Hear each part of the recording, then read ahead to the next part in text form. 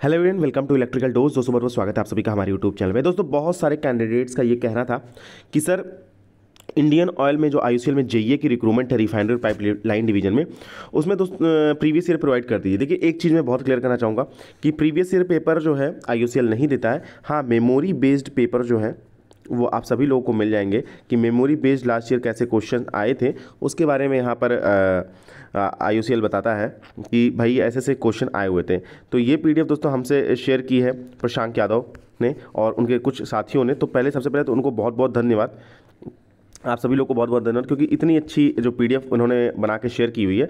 देखिए, ये दोस्तों, ये हल्दिया रिफाइनरी डिवीज़न की ये पीडीएफ है नॉन एग्जीक्यूटिव पर्सनल की, जूनियर इंजीनियर इलेक्ट्रिकल की। तो ये पीडीएफ, दोस्तों, आपको सभी के लिए काम करेगी मतलब आप चाहे रिफाइनरी डिवीज़न का एग्ज़ाम दे रहे हो, चाहे पाइपलाइन का डिवीज़न का एग्ज़ाम दे रहे हो। इसके अलावा, दोस्तों, एक पीडीएफ हमारे पास और भी है, लास्ट ईयर की बनाई हुई, ये पार्ट फ़र्स्ट है ठीक है? ये बेसिकली जो प्रीवियस ईयर पेपर है आई का, उसका ये पार्ट फ़र्स्ट है। नेक्स्ट वीडियो में हम पार्ट सेकेंड आप सभी लोगों के साथ डिस्कस करेंगे तो उस वीडियो को भी हम डिस्कस करेंगे। और दोनों पीडीएफ दोस्तों, आपको मिल जाएगी हमारे ऑफिशियल ऐप इलेक्ट्रिकल डोज में। ठीक है, जो हमारा ऑफिशियल ऐप है इलेक्ट्रिकल डोज जो जिसका लिंक वीडियो डिस्क्रिप्शन बॉक्स में दिया हुआ है उस उसमें पीडीएफ मिल जाएगी। जब आई ओ सी की टेस्ट सीरीज़ आप ज्वाइन करोगे तो उसमें ये पीडीएफ आपको अवेलेबल दिख जाएगी, ठीक है? हमारा दोस्तों आई ओ सी का बहुत ही डेडिकेटेड टेस्ट सीरीज़ चल रहा है, जिसमें पाँच फुल लेंथ टेस्ट लाइव हो चुके बारह टेक्निकल सब्जेक्ट टेस्ट अभी तक लाइव हो चुके हैं, उन्हें आप ज्वाइन कर सकते हो। और एकदम आई के पैटर्न के हिसाब से, जैसे कि पूछा जाता है कि दो घंटे का पेपर कोई भी निगेटिव मार्किंग नहीं, पचहत्तर क्वेश्चन टेक्निकल के हैं पंद्रह क्वेश्चन न्यूमेरिकल एबिलिटी जिसमें पाँच क्वेश्चन रीजनिंग पाँच क्वेश्चन मैथ पाँच क्वेश्चन इंग्लिश और दस क्वेश्चन जनरल अवेयरनेस अवेयरनेस के रहते हैं। तो एज पर डिज़ाइन है, उसे ज्वाइन करने के लिए वीडियो डिस्क्रिप्शन बॉक्स में आपको लिंक मिल जाएगा, वहाँ से आप जाके ज्वाइन कर सकते हो। देखिए बेसिकली ये टोटली मेमोरी बेस्ड क्वेश्चन है, ठीक है? अब देखिए, मैं आपको फटाफट क्वेश्चन बता देता हूँ, ताकि आपका टाइम लॉस ना हो, क्योंकि मुझे पता है कि बहुत सारे कैंडिडेट सिर्फ़ क्वेश्चन का पैटर्न देखने के लिए यहाँ पर आए होंगे, बाकी वो आराम से तैयारी कर रहे होंगे। देखिए वन लीनियर के सारे वन लाइनर के सारे क्वेश्चन होते हैं, ठीक है? वन लाइनर पूरा होता है। कुछ क्वेश्चन आपके मैथमेटिक न्यूमेरिकल न्यूमेरिकल के होते हैं। तो उसके बारे में हम ज़्यादा डिस्कस नहीं करेंगे। बेसिकली हम टेक्निकल पोर्शन पर डिस्कस करने वाले और जो जो सेकंड पार्ट होगा, उसमें भी किसी और रिफाइनरी का या पाइपलाइन डिवीज़न का हम पेपर डिस्कस करेंगे। ठीक है? In any transformer the purpose of oil use in it तो इंसुलेशन एंड कूलिंग दोनों के लिए यूज़ किया जाता है। सोर्स कन्वर्जेंट जो टेक्निक होती है, वो ओम्स लॉ पर बेस्ड होती है। फ्यूज की रेटिंग जो है दोस्तों एम्पियर में होती है। टाइम बेस्ड जनरेटर जो होता है, वो बेसिकली एक ऑक्सीटर होता है। और एम सी सी बी का full form moulded case circuit breaker होता है, ठीक है? Which one of the following is not a source of electrical energy तो थर्मोकपल जो है इलेक्ट्रिकल एनर्जी का सोर्स नहीं होता। ये ऑप्शन के हिसाब से आपको टैकल करना था। ठीक है नेक्स्ट क्वेश्चन है which is the what is the main purpose of using starter in DC motor तो डीसी मोटर में स्टार्टर का मेन पर्पज क्या है? To limit to limitize the value of current in starting because in starting the back EMF is zero that's why current is very high six to seven times जिससे motor हमारी जल सकती है। इसीलिए कुछ starting में जब आप मोटर कोई भी स्टार्ट में हाई करंट ड्रॉ करता है तो एक स्टार्टर के अलावा कुछ टाइम से टाइम का डिले रहता है, क्योंकि जो हमारी मोटर होती है, वो स्पेसिफिक करंट के लिए डिज़ाइन होती है उस तरह करंट लेगा तो हमारी जो मोटर है, वो ओवर करंट पर ट्रिप हो जाएगी। तो इसी को प्रोटेक्ट करने के लिए हम क्या करते हैं, कुछ पंद्रह सेकंड बीस सेकंड का टाइम डिले देते हैं, ताकि अगर इतनी, इतने सेकंड करंट हाई भी रहे, तभी कोई दिक्कत ना हो, जैसे ही बैक ई हमारा जनरेट हो जाए, इसके बाद हमारा मोटर जो है, कम करंट ड्रॉ करना लगेगा। Next question in any transformer the number of turns in primary is 1600 secondary is 400 और if the voltage of secondary is near to 120 volt the find the value of primary voltage तो primary voltage आप निकालो N two upon N one equal to V two upon V one से, ठीक है? Mostly use fuses in chemical industry तो H R C fuse का use होता है। इंडस्ट्रियल लोड लैगिंग नेचर के होते हैं ऑलमोस्ट सारे लोड लैगिंग नेचर के होते हैं, ठीक है? मोस्ट प्रॉब्ली जितने लोड होते हैं, वो सारे लैगिंग नेचर के ही होते हैं। The filling of powdered silica in case of H R C fuse H R fuse में जो सिलिका फिल होता है is mainly fulfil the purpose arc quenching को आपकी आर्क को क्वेंच करने के लिए होता है। Lower value of registered in जो मेजर करता है कैलविन डबल ब्रिज बहुत ही सिंपल क्वेश्चन है। Which generator has a poor speed regulation तो सीरीज़ मोटर की जो आ, हमारी जनरेटर होता है सीरीज़ उसका स्पीड जो रेगुलेशन होता है वो बहुत पुअर होता है। नेक्स्ट क्वेश्चन की बात कर लेते हैं। The distribution system is highly reliable and is efficient than other तो रिंग मेन सिस्टम जो है सबसे हाईली रिलायबल और इफिशियंट होता है। The characteristic of fuse is required for making efficient value of register तो लो मेल्टिंग पॉइंट और high register resistivity जो है, ये फ्यूज की बहुत आइडियल क्वालिटी होती है। The material must have the quality make the good electromagnet तो ऐसे मटेरियल की क्वालिटी आपको बतानी जो एक गुड अच्छा इलेक्ट्रोमैग्नेट बनाता है तो हाई परमिलिटी और लो रिटेंटिविटी का जो मैग्नेट होता है, वो बड़ा अच्छा क्वालिटी का होता है। The specific gravity of electrolyte oblique solution accurately measure by तो स्पेसिफिक ग्रेविटी किसी भी इलेक्ट्रोलाइट या सोल्यूशन की कैसे मेजर की जाती है तो हाइड्रोमीटर से। ठीक है? नेक्स्ट क्वेश्चन है। In a home for four lamp of two hundred watt is use for day find energy of consume तो इसे आप कंज्यूम एनर्जी निकाल देंगे। थ्री सिक्सटी किलो वाट इसका आंसर है। देखिए, जो न्यूमेरिकल क्वेश्चन है, दोस्तों, उसके बारे में हम डिस्कस नहीं करेंगे, क्योंकि बहुत ज़्यादा लंबी वीडियो जाएगी। तो आप उस क्वेश्चन को नोट करके रखिए और अपना सोल्यूशन ले लीजिए, क्योंकि आंसर आपका दिया हुआ है। The kilowatt hour is basically is an type of instrument तो इंटीग्रेटेड टाइप ऑफ़ इंस्ट्रूमेंट आपका जो एनर्जी मीटर होता है बेसिकली वो किलोवाट आवर ही मेजर करता है। The output voltage of lead acid gel तो दो वोल्ट का आउटपुट वोल्टेज होता है। In world you not method of speed control the lower limit of speed is shunt is impose by तो residual जो मैग्नेट होता है, जो इसकी लोअर लिमिट होती है, वो एक्सपोज इम्पोज होती है रेजिडुअल मैग्नेटिज्म जनरेटर से। Continuity of circuit breaker can be checked by आपका मेगर से कंटिन्यूटी चेक करते हैं। Which one of the following which of the one of the plant has the least effect on environmental condition तो hydro electric power plant का जो है least effect होता है। The maximum transmission voltage in India चार सौ K V as per question ठीक है? आप तो पंद्रह पंद्रह सौ के वी का ट्रांसमिशन वोल्टेज होने लगा है।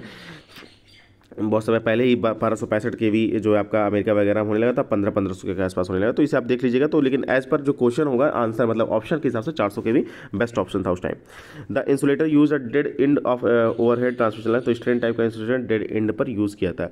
The sole purpose guy guy wire in transmission line to support the pole capacitor bank is mainly use for power factor improvement सभी लोग जानते हैं कि भाई कैपेसिटर बैंक का यूज़ जो है मेनली पावर फैक्टर इंप्रूवमेंट के लिए किया जाता है।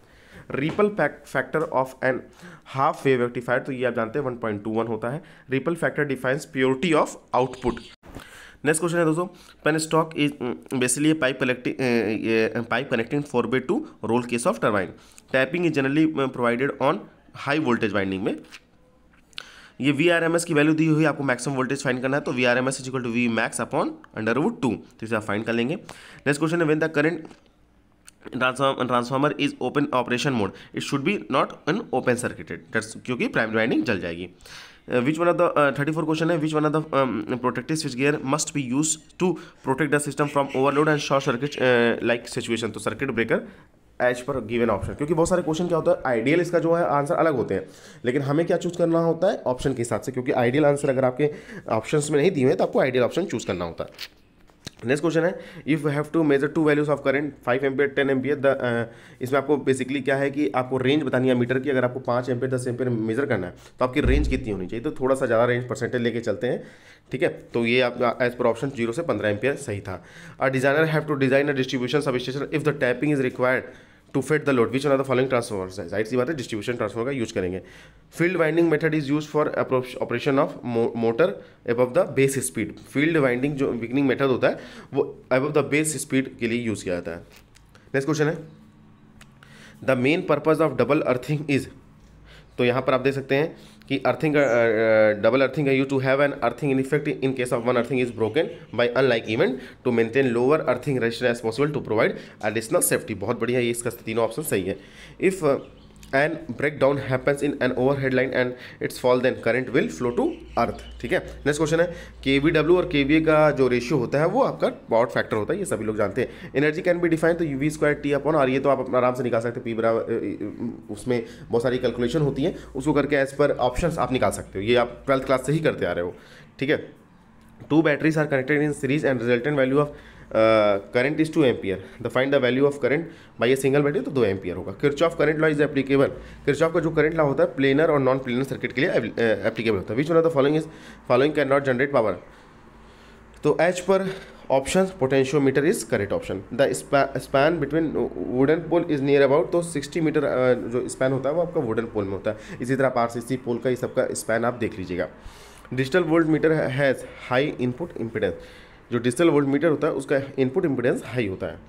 Product of voltage and current to the cosine of generator is to power होता है, ठीक है? P is equal to V I cos five in a purely registered circuit purely registered circuit में आपका वोल्टेज और करंट जो है same phase में होता है। Short transmission line resemble like series R L बिल्कुल, क्योंकि इसमें कैपेसिटर का इफ़ेक्ट हम इग्नोर करके चलते हैं। नेक्स्ट क्वेश्चन है इलेक्ट्रिक बल्ब इज़ ऑपरेटेड भाई, सही बात है कि आप डीसी एसी बैटरी किसी से भी यूज़ कर सकते हो। If the voltage in carbon filament lamp increase the value of resistance decreases what will be happen to the frequency if the if if the number of revolution revolution is increase तो increase हो जाएगा। Number of cycle per second is define as frequency कि number of cycle जो है per second आपका frequency के equal होता है।